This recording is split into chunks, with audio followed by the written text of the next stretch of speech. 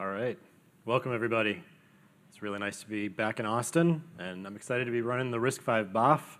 Um, my name is Stephano. Some of you may remember me from my days working on the Yocto project or in open source firmware. Uh, currently, I work at RISC-V as the Director of Technical Programs, uh, which basically means I'm helping to ratify many specifications to extend the RISC-V ISA and really helping to forge what is an open source ISA development process that up till today has not been well defined, and we are hopefully charging forward with that. So this is a BOF. Uh, it's going to be a pretty open Q&A discussion session, but I prepared some slides just so folks can kind of get some fodder for asking questions. Feel free to stop me during any of this presentation. Just raise your hand and we can chat. And then when I get to the end, I'll open up the floor for discussion.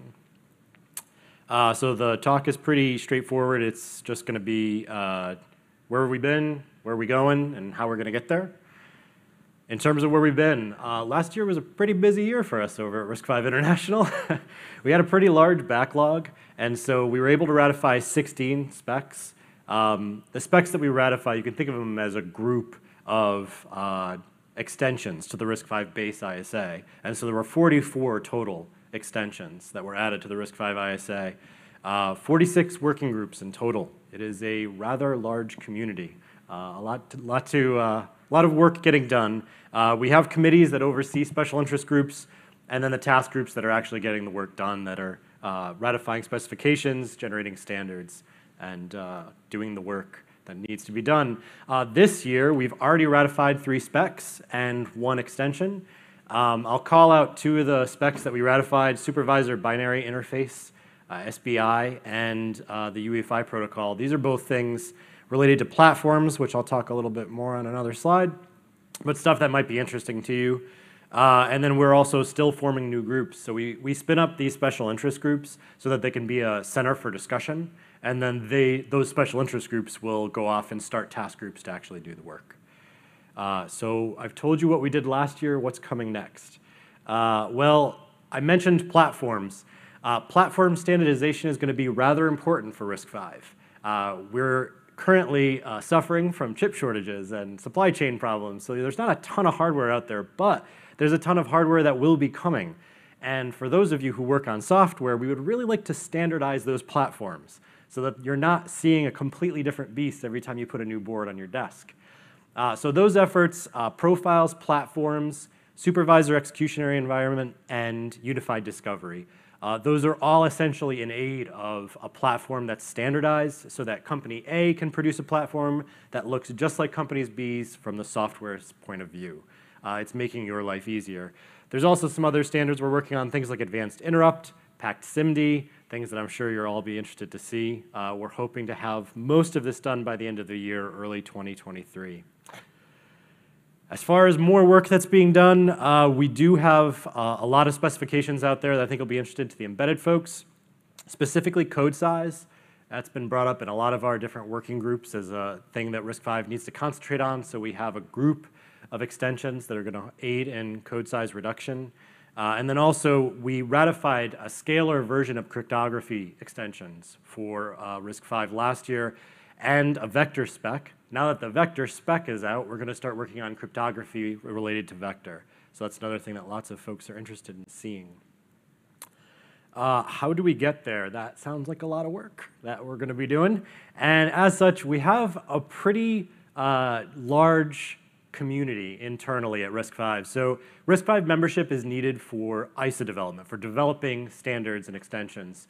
Um, but it is free to join. This is how we lay out our organization. This is how we're getting that work done. Uh, you'll see some horizontal committees, the horizontal bars there. Uh, those are the places that oversee high-level work. Um, so specifically, if you're interested in software, we've got a privileged software IC and uh, application and tools HC. Those two groups essentially split up the software between the uh, privileged, which you can think of as operating system, firmware type stuff, and then application and tools, essentially everything else.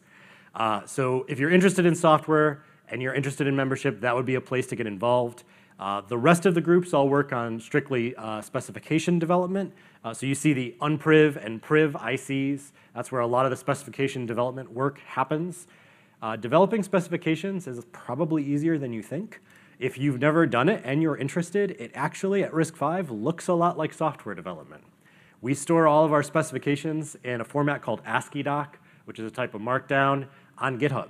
If you're interested in contributing, you send a pull request. If you find a bug, you send an issue. It's pretty much like software development, but in the standards world. So if you are interested, I highly recommend looking at membership. As I said, it's free, and you can contribute to specification development. That being said, I'm pretty sure I'm at the Embedded Linux conference, so I figured I should probably mention some software that most of you will be interested in. Uh, this is the eye chart that I show when I give presentations at lots of conferences. Uh, the thing that I'm trying to get across here isn't so much that your vision is going, but rather that we work with a ton of communities at RISC-V. There's lots of different software communities we're working with. Uh, we're trying to build open source from the ground up. So we're starting at the ISA level. Uh, we have a golden model written in a language that came out of Cambridge called Sail. We have architectural tests that we're standardizing around, and the stack builds from there. And it's open source all the way up. So it really is an effort where if you're used to working in open source, we're trying to make this as painless as possible. And as a result, our members and community members uh, have developed several stacks that they're currently booting on products. This is software that's out there in the field today that our, our members, RISC-V members, and community members are using that is not to say that these stacks are complete and flawless and don't need any work on them whatsoever. If any of this is interesting to you, please do join our community and help us move this forward. There's work that needs to be done in lots of these areas. Um, speaking of our community and work that needs to be done, this is how you join the community. Um, I mentioned that you do need to be a member if you're interested in working on ISA specifications. You do not need to be a member to contribute to RISC-V. Uh, you can get involved by heading over to the wiki to get started. You can head over to GitHub where we store not just our specifications, but all the software that we're working on, all the firmware that we're working on is all up on GitHub. And while we have member mailing lists for that you know, uh, specification development discussion, uh, we have public mailing lists for things like software development, SWDev, and hardware development, HWDev. So these are places where even before you're a member, you could already get involved and join the conversation and uh, ISADev, where we uh, talk publicly about the specifications. Before a specification is ratified by the board and by the TSC, the Technical Steering Committee, we give it a 45-day public review period on that list, ISADev. So a public mailing list where before we put the stamp on it and say, okay, we're going to ratify this, anyone from the public can comment. Now that being said, if you're really interested in spec development, you'd want to get involved much, much earlier on, and membership is free. But this is a chance where you can see what's going on in RISC-V before the ratifications actually happen. So those are all the slides I had today. I'll leave this up uh, for you to uh, take snapshots of. I'll open the floor up to discussion and questions. If you have a question that no one can answer, including myself, I have my card. I will give it to you, and I will find someone who can answer the question you have. I'll open up the floor. I have more slides with roadmap stuff on it if you're bored and want to look at roadmap slides. I'll, uh, I'll, I'll go first. Good, that scares one. someone into asking yeah, a question. Right. once you break the ice, everybody will flood out and have right. a question. So, um, so we are uh, a, a, kind of real device widget company who's in the process of working with uh, another third party to develop a chip um, but we're kind of down in the RV32 space, um, deeply embedded bare metal.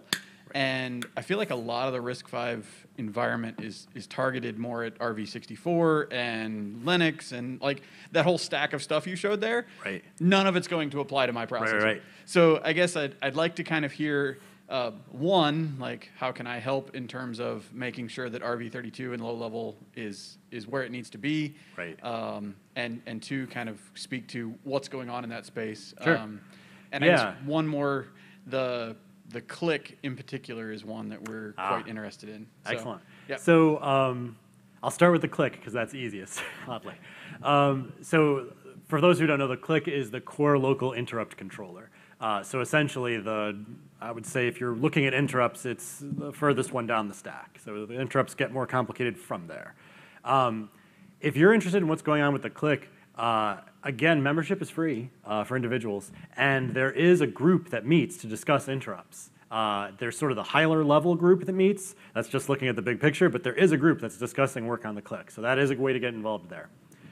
Uh, in terms of uh, essentially what's going on bare metal, uh, two things I'd say. First would be uh, the real-time stuff that's going on. So Zephyr, FreeRTOS, RT-Thread. Not sure if that's applicable to you at all, but okay. So I've been working with the Zephyr community and the FreeRTOS community, and now just recently RT-Thread. I'm trying really hard to get a group of uh, people interested in RTOSes together to form a SIG. Uh, one of the problems I'm having is leadership. Uh, people are very interested to come to that SIG meeting, but I would like to not lead it. not being a real-time expert. So if you know anyone who might be interested in doing that, it's not a ton of work to run a SIG. It's essentially one meeting every few weeks and paying attention to a mailing list so that questions essentially get bubbled up to somebody. Um, so that's kind of where the next step is going there. Uh, in terms of bare metal, um, I assume are soft CPUs interesting to you at all? No. Okay. So yeah, so the other group that I'm interested in forming, so there's a big soft CPU group that works with FPGA stuff as sort of a side note to seed more questions. Um, but in terms of bare metal work uh, that's not soft CPU, I am interested in forming a group that focuses on hardware implementations. Uh, it's a little delicate to do in an open source community because especially at RISC-V, we try to stay away from implementation. But I'd like to enable folks at all levels to build products. And so a big part of that is folks getting together to ask questions about, hey, how did you do this? I see you got this product out the door, and we're struggling with this. How did you do that? And that's an open forum which I can create and foster. So I'm definitely interested in doing that. I've had folks in the mobile and laptop space talk to me about that, but now I've just had someone from the real, from the bare metal space talk to me on that. So uh, my card's up here let's connect afterwards and we'll see if we can tie you into that group as it gets going. There's one virtual question. Oh, all right. What is the status of profiles? What a great question. I feel like that one was seeded. so let me give a quick rundown of profiles and platforms for folks. So uh, the way RISC-V is structured, uh, the ISA, you have a base ISA. The base ISA is uh, RV32I, RV64I, or RV32E. These, this is essentially the core of what RISC-V needs to, to process, to be a CPU. Everything else is layered on top. So if you want to do multiplication, it's an extension. It's layered on top, M. Uh, if you want to do compressed instructions, that's layered on top. The only differences in the base really are the 32-bit, 64-bit, 128-bit, and then I or E. E for uh, essentially embedded, where they're cutting down the registers from 32 to 16 to save space where that's applicable. Um, everything else is layered on top. A profile is going to define in a standard way what can you expect to be in your RISC-V implementation. So if I'm going to ship a RISC-V implementation that boots Linux, I'm going to want the letter G after, after RV64i. Uh, that denoting those extensions that Linux expects to be there. I'm not going to rattle them off because I don't think they're all in my head and I'll miss one and someone will call me on it. Uh, so that's what profiles entails. Now, why are we doing that? What's the point to standardizing that concept? Well, we want implementers to be able to go off and implement something that the software community, when they go to build platforms with it, will know, oh, I have an RV64IG implementation. I know what's there. I know I can count on multiply, divide, float, double. All this stuff is there. So I know I can boot Linux. But we want to kind of take it the next step further to start to push the envelope. We want to seed the community with the opportunity to do more work in more interesting areas. So by creating a profile that's more complex, those profiles will then encourage implementers to create a conforming profile that adheres to that standard and has those advanced features in it. And so we're sort of forcing folks to push the envelope and build more interesting products. Now, what's the state of that was the original question, I believe. Um, it's the technical steering committee's job to decide on what goes into a profile and what goes into a platform. Because at the end of the day, we're not building platforms, we're not creating implementations, but we'd like to create a good interface for the community to use. So we will discuss that end of platforms. From a profile standpoint, it really is just discussion among the technical steering committee about what they think the community wants to see. Current state of it is they know people would like to see Linux booting on RISC-V. so I'm pretty sure you're going to see a profile coming pretty soon that adheres to that idea. Um, I can't give you a date on that because we're currently working on that with the TSC. However, it does raise the idea that if the community is interested in seeing different kinds of profiles, there are mailing lists on that screen in front of you where you could discuss that. And that discussion will filter up because of yours truly to the TSC. And that discussion will happen on we're hearing this from the community. This is the kind of profile we're going to create. And if you think about how we've developed ISAs and specifically platforms in the past, this is an interesting idea because it's not the customer, not the person buying the chip that's telling us how we're going to do our job. It's the people who are helping to work on the infrastructure. So that's, that's the way things are turning with RISC-V, and I think it's an interesting opportunity for folks. Hopefully that answered the question.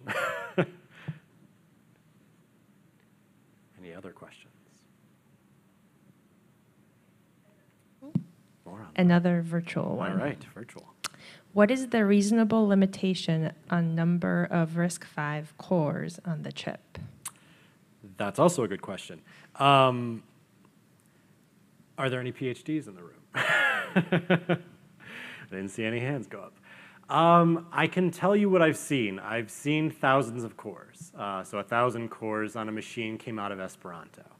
Uh, my knowledge of multi-core does not span deep enough to tell you what is the practical limit. Uh, however, um, my contact information, unfortunately, is on a card that you can't see. Uh, if you type my name into Google, I have a unique first and last name, and you will find me, and I can find an answer to that question. Uh, most likely coming out of an academic institution, but I can help you with that. Unless, did anyone here want to answer that question? It is a BOF. Discussion around the limits of core implementations? No. Okay. Other questions or thoughts, discussion topics? I was gonna ask you about soft CPUs, but then I Googled and I found a little article that Jeffro wrote, so. No, no, it's, I'm- I'm just rambling. So, uh, are there any soft CPUs that have actually taped out? Uh, yes, Should there are several. Who's Uh, also, them? hello, great to see you. I know, I was gonna say, do you miss the It's been a while. OSPD too? um, yes, there are soft CPUs. That, so um, Jeffro did write an article on that. So I mean, it's dubious, but because it came from Jeffro, I'd like to go on record saying that. Um, no. Um, in terms of stuff that's been taped out, I would go look at the work that Berkeley did uh, because that's that'll sort of get you in, in, off on the right foot because that's I think where the inception of RISC-V came from was a bunch of folks at Berkeley. Uh, creating soft CPUs for an educational purpose, and then being like, "Hey, why don't we tape these out?" And then looking at the results. And then by 2015, it was you know actual uh, implementations folks were looking to put out into products. So uh, yeah, I think their Boom Core B O O M is the is one that they've taped out that runs Linux. But from there, uh, you can go out from there. You can also look at um, oh, what's the one Open Titan uses IBEX. IBEX is a much simpler 32-bit core that uh, is used in uh, Open Titan, which is, I believe, a trusted platform module that came out of Google that is open source. Thank I you. believe that's been taped out. I believe that's been put in products. So if, could I go buy a dev kit or something and start? With OpenTitan, yes. I believe there are dev kits out there. And if I am a liar, uh, then let me know. And I will find from somebody at Google how I can play around with OpenTitan in an actual chip. Because I know it's been implemented on products, so I have to imagine there's a dev board out there somewhere. Somewhere. One would hope. Thank you.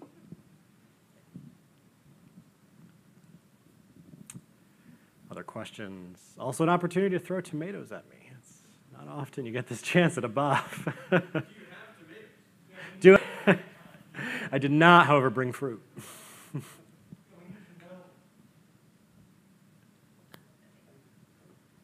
Making you- I was just going to ask if you can expand on the advanced interrupts that you had listed up there. Where, is, where do you see that Uh, going? yes, so Advanced Interrupts, AIA. So that is a pretty new effort in terms of, uh, so you've got, in terms of interrupts, you've got the CLIC, uh, Core Local Interrupt Controller, uh, the Platform Local Interrupt Controller, PLIC, and AIA, uh, Advanced Interrupt Architecture, uh, is a group that's essentially taking the next step, adding more complexity and more features to interrupts, can't tell you much about it, but I can give you my card, and there's a mailing list where they're discussing it. Uh, if you want to be a member, and if not, I can just connect you with folks who will be happy to discuss it with you. If no one in the room is asking questions, the folks virtually are. Sounds good. Next one is how really promising to use RISC-V cores to offload computation into storage device space. Any roadmaps for this? Sure, yeah. Uh, so I think what the question is, it's, it's moving compute off the CPU and into other areas. Storage is one I haven't thought a lot about, but in-memory compute is probably uh, what I would recommend that person look into. Uh, in-memory compute is becoming much more popular. It's getting the compute closer to the memory. It's being used in AI and ML. And uh, I would recommend that person look at Esperanto in terms of companies that are doing cutting edge type things with RISC-V cores. I don't know if they're doing in-memory compute, but the folks at Esperanto are the folks I would ask about who is doing in-memory compute.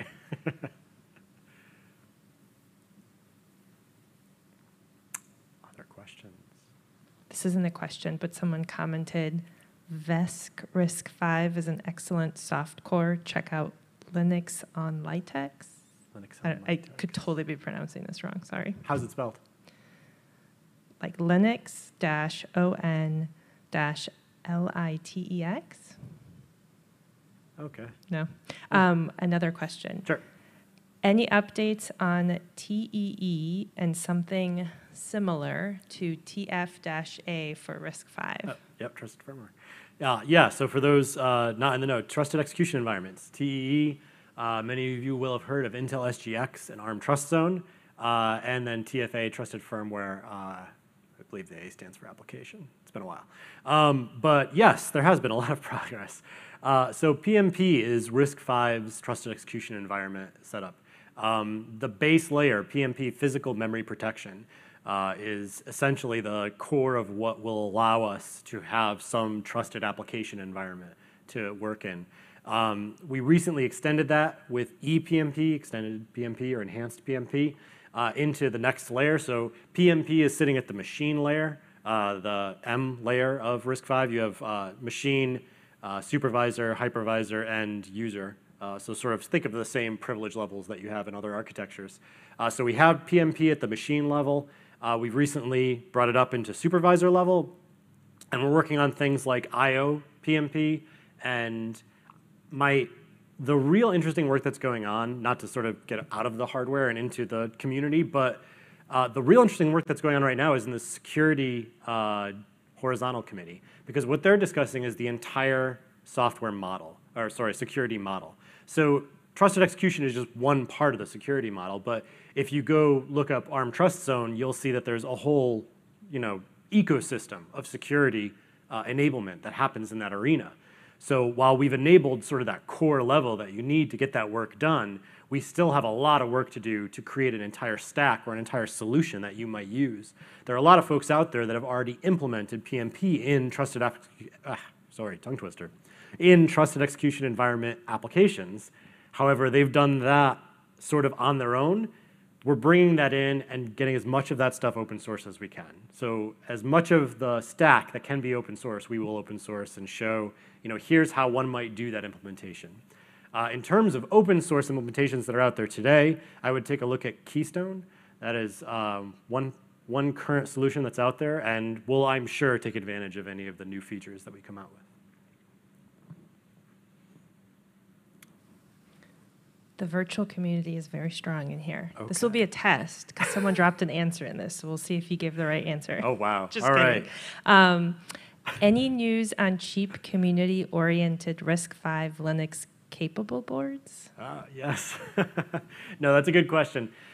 So I think I mentioned at the beginning of the talk, we are suffering from a chip shortage and supply chain problem, especially in RISC-V. Um, that being said, there are some boards out there. Uh, the D1 board is one I take a look at. Uh, the D1 chip, oh, I'm not going to be able to remember the name of the company that made it, though. Um, the D1 chip came out of Alibaba. I can't remember the actual manufacturer of the chip. Pardon? Allwinner. Thank you. See, Thomas is here to correct me. Um, so Uh, there are a couple of boards that implement that. That is about as cheap as it gets right now. Uh, there is also a VisionFive board from StarFive, a little bit more expensive, gets more into the $200 range. The D1 is closer to 100. However, more important than any of that, we have a developer board program. So if you go to our website and you head over to the development board program that's linked somewhere right there on the front, uh, you can sign up to receive a free development board. It'll either be a D1 or a VisionFive right now. As new boards come out, we will be shipping boards out to the community. The idea is we'd like to seed the community with the ability to do work based on projects. So you fill out what kind of project you're interested in working on.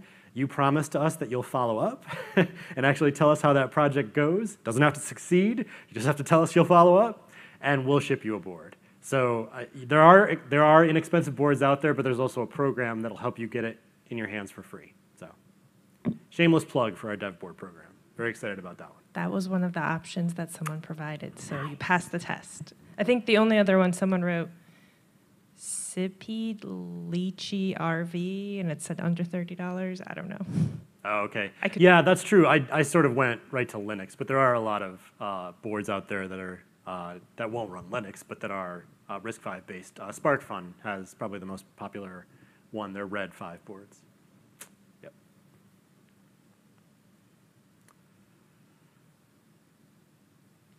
Are we good? All right. Any other questions in the room? You missed the chance to throw tomatoes at me. I'm really glad nobody brought produce. All right, well, it is beer 30, so thank you all very much for coming. Appreciate you showing up, and see you all at the next conference. Thank you very much.